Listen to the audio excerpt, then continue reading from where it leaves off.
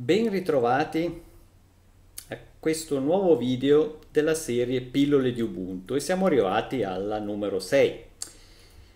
Chi ha già seguito le puntate precedenti saprà che questi sono dei video che raccolgono mh, mm, degli appunti che io tengo da parte durante l'uso di Ubuntu, del sistema operativo, man mano che trovo qualcosa che giudico interessante tengo lì una nota da parte quando ne ho accumulato un certo numero mi decido a fare uno di questi video e appunto siamo arrivati al numero 6 in questo caso partiamo quindi con la prima pillola che ci spiega come eseguire un programma con l'interfaccia temporaneamente in lingua inglese oppure anche in un'altra lingua.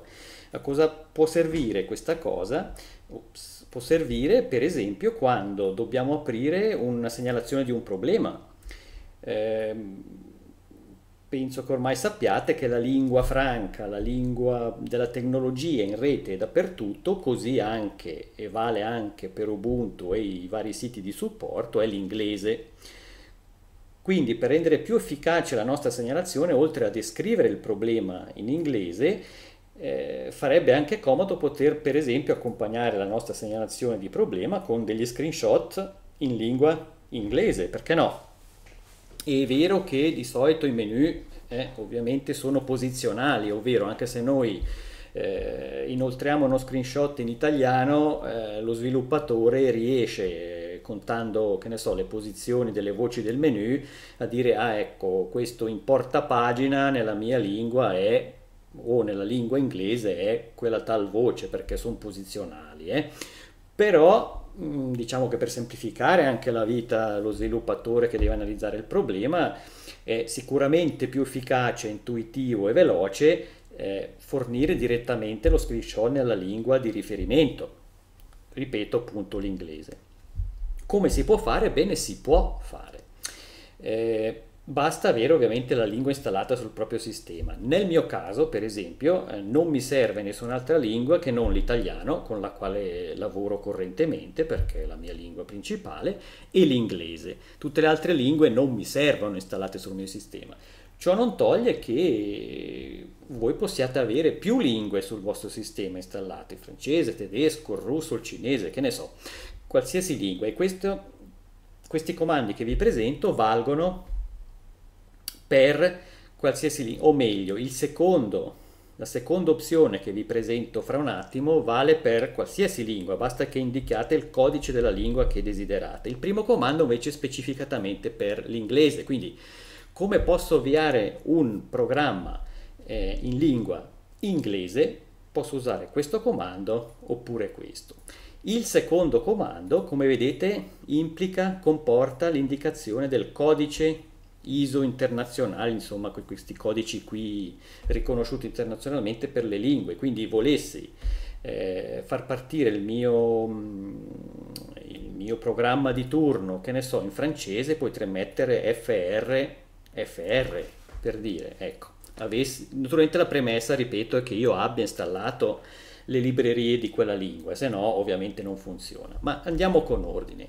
Allora dico, prendo come esempio il programma gedit che è, è il, il, noto editor di testo. Vedete qui tutto in italiano ovviamente essendo attivo il mio sistema con la lingua installato e attivo la lingua italiana sul mio sistema. Tutto i pulsanti la barra di stato vedete tutto in italiano ovviamente. Questo è gedit.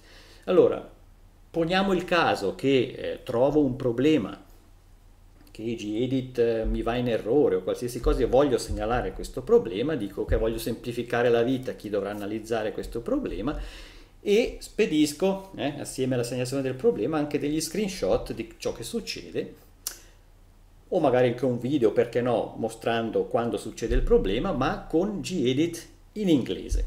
Allora, Prima opzione è questo comando, quindi lang uguale a c spazio gedit perché l'esempio, eh, può essere qualsiasi altro programma ma prendiamo gedit. Allora lang, rispettando appunto i caratteri maiuscoli ovviamente, spazio il programma che voglio, gedit e faccio enter. A questo punto vedete che magicamente rispetto a prima gedit mi si è aperto in inglese, vedete? tutti i menu sono in inglese, tutti. Barra di stato, vedete, plain text, tab with, tutto in inglese. I pulsanti hanno le icone col testo in inglese e il documento senza nome, untitled document. E voilà, vedete, è in inglese. Questa, il primo comando è specificatamente per l'inglese, cioè senza specificare un codice lingua particolare con uguale a C indichi, eh, si indica al sistema fammi uscire l'interfaccia applicando la lingua inglese. Il, la seconda possibilità appunto invece è più, come dire, più dinamica, più ampia, perché implica di segnalare quale lingua specificatamente voglio e poi il funzionamento è identico, ovvero ottengo lo stesso risultato. Quindi proviamo language uguale, in questo caso appunto restiamo sull'inglese, sempre il nostro gedit, faccio enter e vedete che ottengo lo stesso risultato, tutto in inglese. Qui è come se avessi il sistema in inglese, ma uno, non ho dovuto eh, riavviare il PC eh, attivando la lingua inglese nelle impostazioni e non ho dovuto fare niente, io il mio PC tranquillo in italiano ho solo questa finestra, esclusivamente questa, che sta lavorando in inglese e questo può essere molto utile, ma anche mh, per nostra documentazione, quando magari colloquiamo con un tecnico, con un collega su un forum che non è di lingua italiana, magari lui ci dice guarda devi prendere quell'opzione che si chiama così così, lui ce lo dice in inglese, ormai in rete si parla con tutto il mondo, in genere l'inglese è la lingua appunto franca della rete, e, e magari noi non riusciamo a capire bene qual è quell'opzione perché tra l'italiano e l'inglese non, magari non riusciamo a, a catturare la, la, traduzione, capire, intuire qual è, ecco che noi possiamo eh, aprire lo stesso programma in inglese e cercare esattamente quell'opzione che il nostro amico nel forum ci ha indicato. Ecco, può essere sempre utile. Ecco. Come dicevo prima, il secondo comando eh, vale per qualsiasi lingua. Ehm, sempre ammesso che io l'ho installata, io posso indicare un'altra lingua. Adesso io ho installato solo l'italiano, quindi farò scioccamente eh, l'esercizio con italiano svizzera, che è lo stesso del mio sistema eh, attuale nel quale st sta lavorando in italiano. Quindi faccio enter, esce né più né meno eh, lo stesso gedit come se non indicasse nessuna lingua, perché è quella di sistema attuale per il mio sistema. Ecco che questo può essere molto molto utile, questa prima pillola di Ubuntu.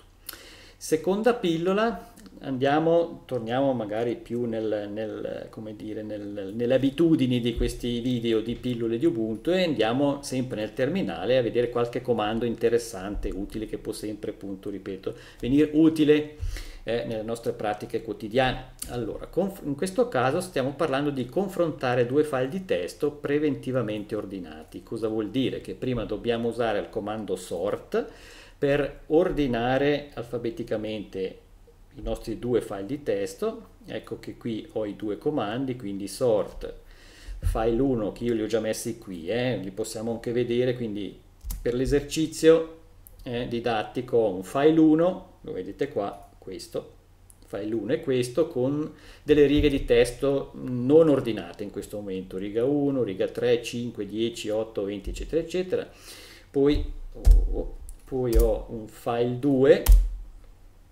che anche lui è, vedete, riga 34, riga 0, 11, 2, 3, 4, non sono ordinate, è in ordine sparso. Quindi la prima cosa da fare è ordinare, quindi prendiamo questo comando, lo mettiamo nel terminale e diciamo ordiniamolo file sort. Eh, ho sbagliato qualcosa. Scusate, eh, cosa mi dice? Che non riesce a leggere. Ah, non è .txt ma è senza .txt. Scusate, ora qui nella scaletta per abitudine dei file di testo ho messo l'estensione txt ma in realtà non ce l'hanno i file che ho preparato qui, vedete, sulla scrivania non hanno l'estensione .txt, per quello che mi dice che non li trovo, quindi correggo anche la scaletta. Scusate, allora, correggiamo il comando, togliamo l'estensione. Ok, sorteggiato file 1, sorteggiato e vedete che c'era una riga vuota, la P viene prima della R, poi riga 0, 1, 10, 20, 3, 5, 8, adesso sì che è ordinato, stessa cosa con il file 2, file 2, file 2, ordinato e il file 2 sort, quindi ordinato PR1, 2, 3, eccetera, eccetera. Ecco, adesso abbiamo file 1 sort e file 2 sort che sono ordinati e pronti per essere confrontati. Ecco che qui purtroppo, scusate, eh, di solito controllo le cose, ma vedo che la scaletta mi è sfuggito. Boh, risultato possiamo anche lasciare punto .txt, però qua... Ok. Ok, vedete, forza dell'abitudine. Ok.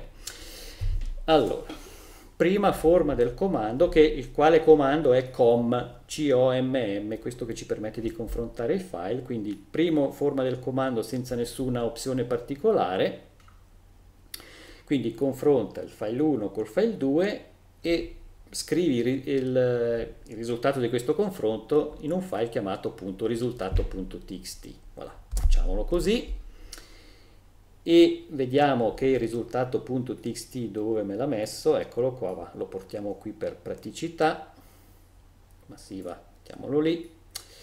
Allora, risultato.txt vediamo che ehm, sembra pasticciato, ma in realtà è su tre colonne, bisogna leggere questo, questo risultato. Eh? Vediamo un po' cosa dice qui la scaletta, quindi il risultato è formato da tre colonne le righe che sono presenti solo nel file 1, quindi il primo file, quello indicato subito dopo il comando. Quindi la prima colonna, questa qua, contiene, contiene le righe che sono contenute solo in quel file lì e non nel secondo.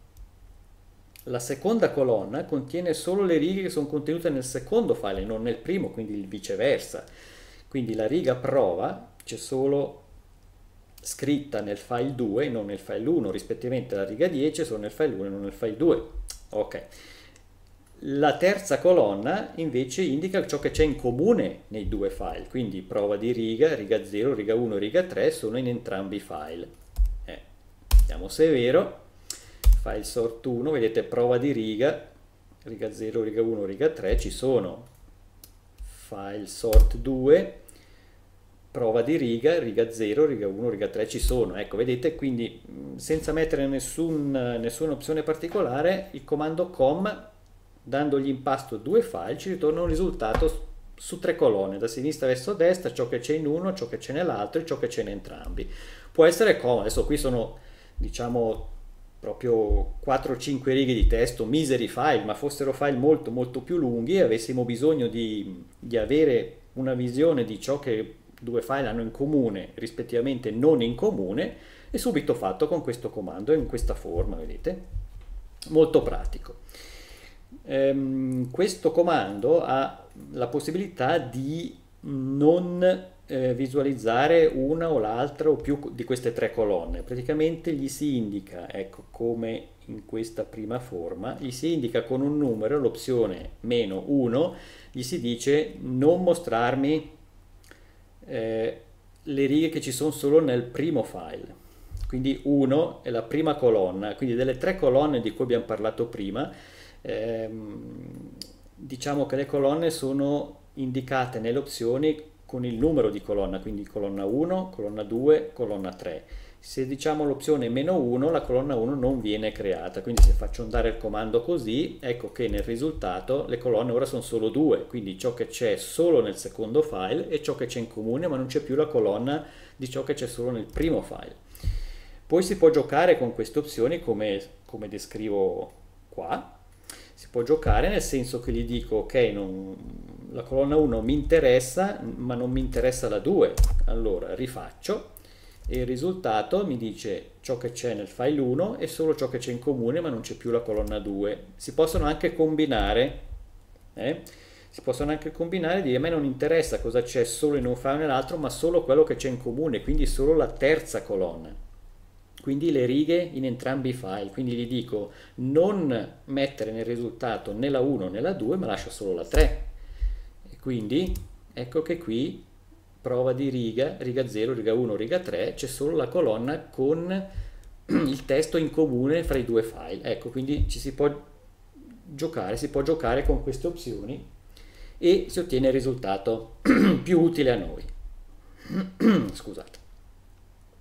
Poi, terza pillola, oh, terza pillola di questo video è far apparire gli asterischi nel terminale quando digitiamo la password.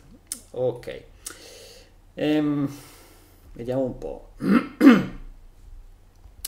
Quando eh, eseguiamo nel terminale un, um, un comando che richiede ehm, la password,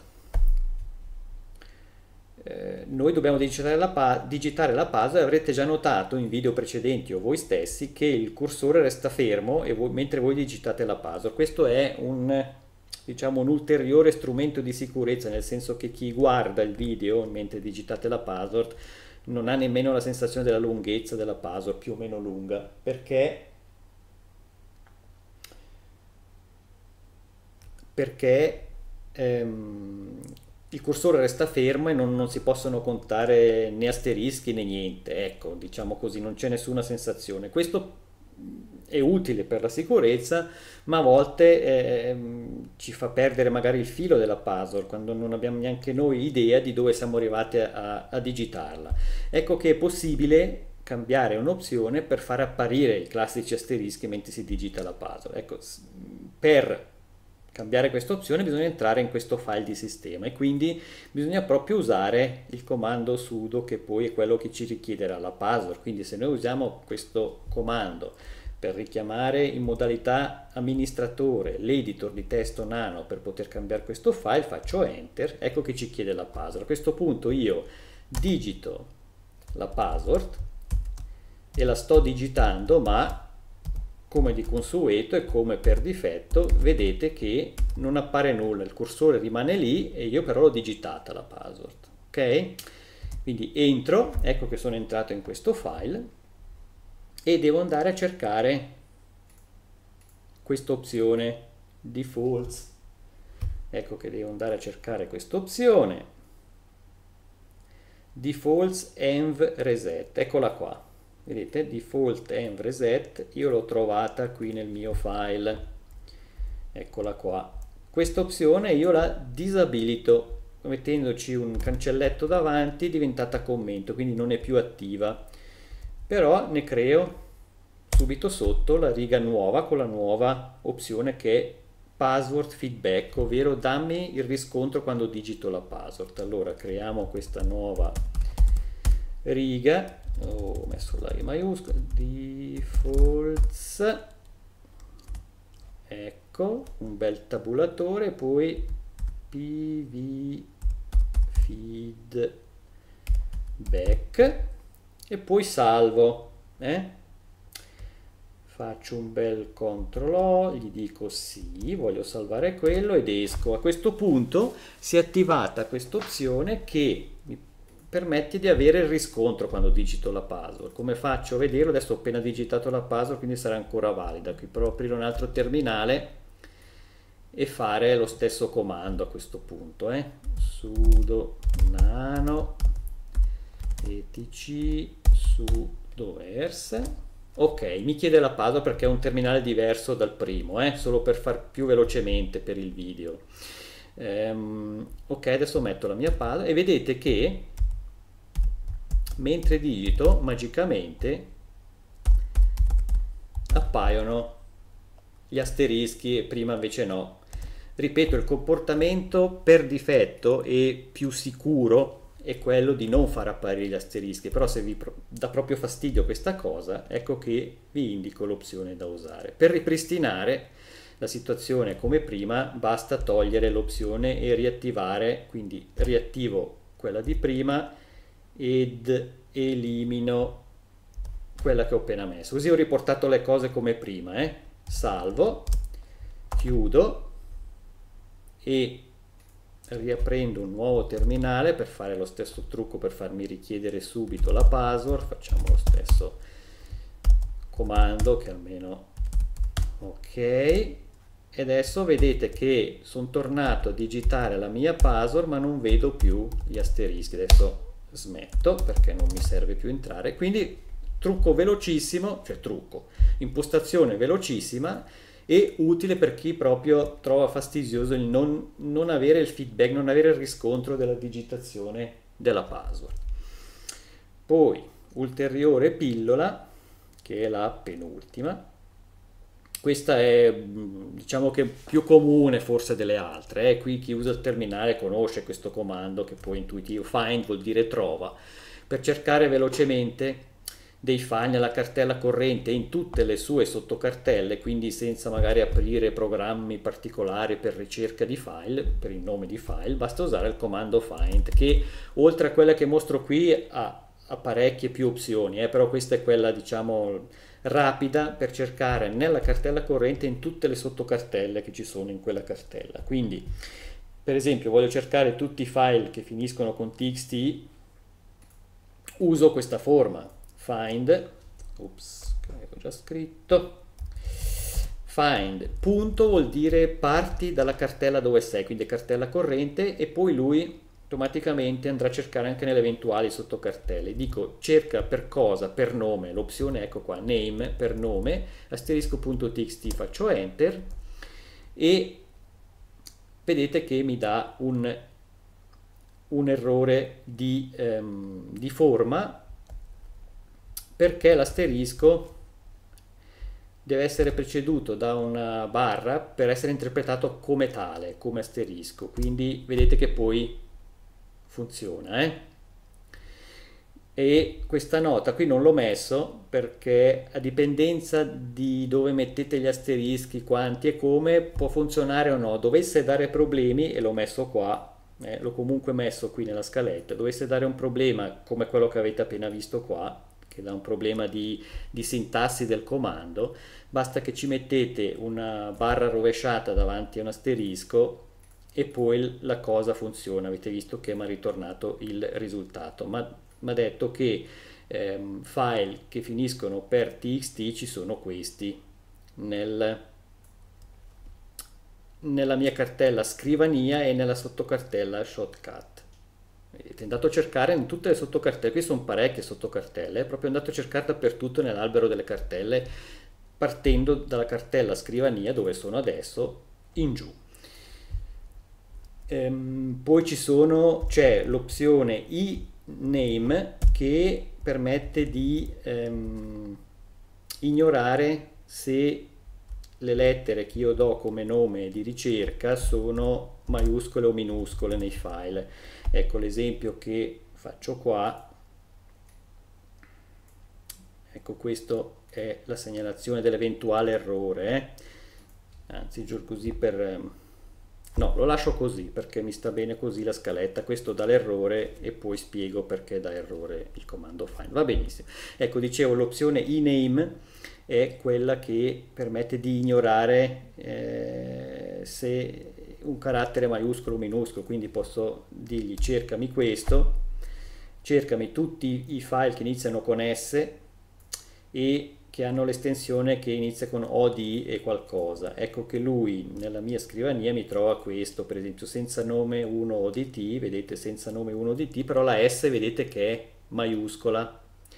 Quindi I, la I davanti all'opzione name permette di ignorare che io gli ho indicato la S minuscola se non uso la i come opzione non me ne trova dovrei proprio dargli rispettare il maiuscolo minuscolo ecco che ci risiamo con l'asterisco vedete che se non uso l'e-name devo proprio mettere la S maiuscola per farli trovare, insomma quella è la differenza fra le due opzioni. Ecco, poi qui, eh, ormai l'avete visto un paio di volte, dovesse dare errore la ricerca con gli asterischi, sappiate di mettere una barra rovesciata davanti e poi funziona. Avete visto qui ancora una volta l'errore e poi il, il comando che funziona. Ultima pillola riguarda il, il programma, il comando past, paste o paste, ecco non so in italiano paste, vabbè, paste in inglese. Quindi cosa permette di fare questo comando? Permette di riordinare un file oppure unire più file, unirli assieme in un certo modo. Quindi vediamo la prima, la prima forma, riordinare, in che senso? Cosa intendo? Ecco, io preparato questi file eh, per dimostrare come funziona il comando, quindi file 1 past, che è questo, vedete che come quelli dei comandi di prima contiene delle righe, riga 1, 3, 5, 8, eccetera, eccetera. Se uso questa prima forma, allinea orizzontalmente le righe di un file, quindi ho quel file lì con una sequenza di righe in verticale, uso questo comando e cosa succede? Lui mi, ehm, mi mette in output, quindi mi dà come risultato lo stesso file che abbiamo visto prima, ma in orizzontale, spaziati da un tabulatore forse. Ecco, riga 1, riga 3, 5. Ecco, questo può essere utile, è un po' come un riportare orizzontalmente qualcosa che è verticale. Può sempre essere utile. Poi, se iniziamo a usare delle opzioni, vediamo che allinea orizzontalmente le righe di un file separandole con una virgola, per esempio. Quindi questo è lo stesso comando di prima, praticamente, però con in aggiunta eh, quale separatore voglio. Laddove sopra era un tabulatore per difetto, qui gli dico separa con una virgola, eccola qua la virgola. Se io faccio così, vedete che mi riorganizza orizzontalmente il contenuto del file, però ci mette una virgola fra una riga e l'altra, una virgola. Così come posso farlo col punto e virgola come se fosse un classico file CSV separa separato da punto e virgola. Quel punto e virgola è un carattere particolare per l'opzione dei comandi, quindi un po' come prima col comando find dove dovevo mettere la barra rovesciata per fargli interpretare correttamente l'asterisco come carattere, anche qui devo mettere la barra rovesciata per fargli interpretare correttamente il punto e virgola. Quindi dico, voglio separare le mie righe di testo in orizzontale da un punto e virgola, ma devo farlo precedere da una barra rovesciata, al contrario della virgola che non ne ha bisogno. Quindi vedete che ottengo lo stesso risultato ma con il punto e virgola e così con altri separatori, eh, posso mettere la chiocciolina, il dollaro, quello che voglio, quello che ho bisogno, eh. basta metterlo, specificarlo qui, dopo l'opzione D.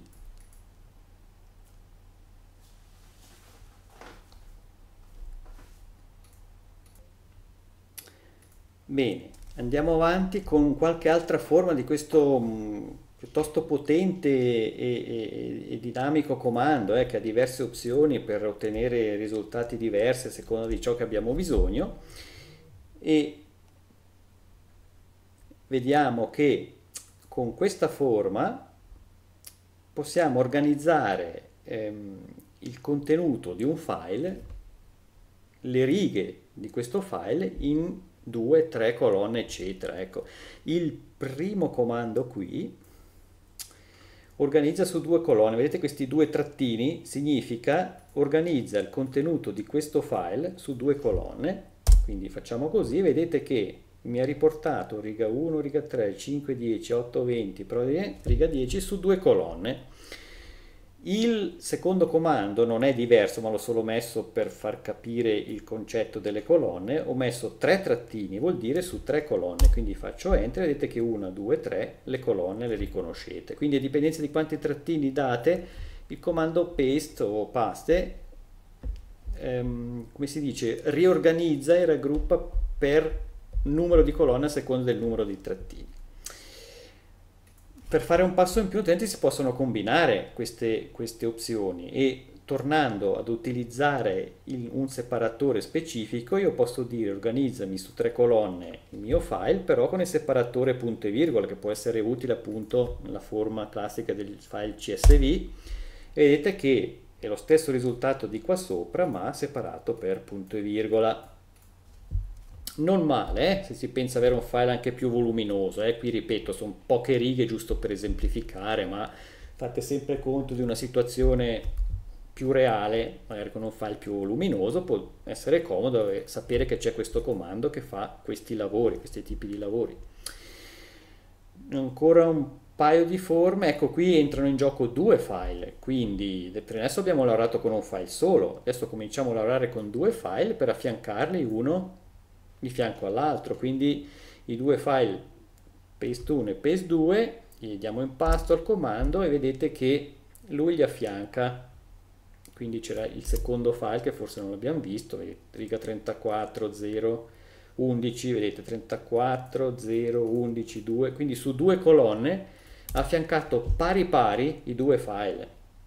Quindi se il primo è più corto finisce a riga 0, il secondo c'è ancora una prova di riga, andrà avanti, però gli affianca pari pari, riga 1 di un file, riga 1 dell'altro, riga 2, riga 2, eccetera, eccetera. Proprio li mette pari pari, anche questo può essere molto utile per file so, due elenchi, due classifiche di, di, una gara, metterli a fianco, ecco, può essere molto pratico questo comando.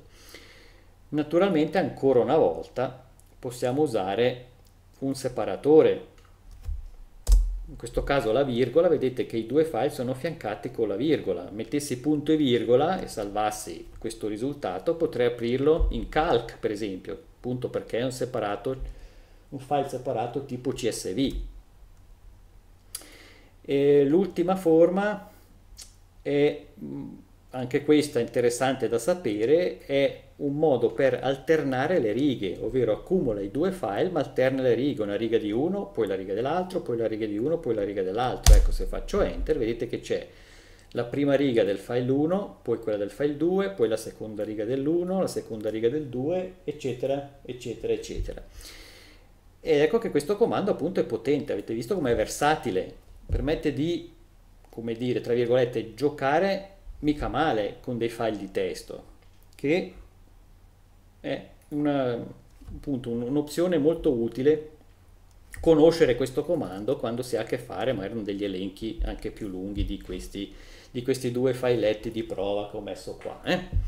Ecco, con questo, sì, ho finito, con questa ultima mh, versione, forma del comando paste ho finito questo video numero 6 di pillole di Ubuntu, con questo vi saluto e vi attendo alla prossima occasione. Ciao ciao!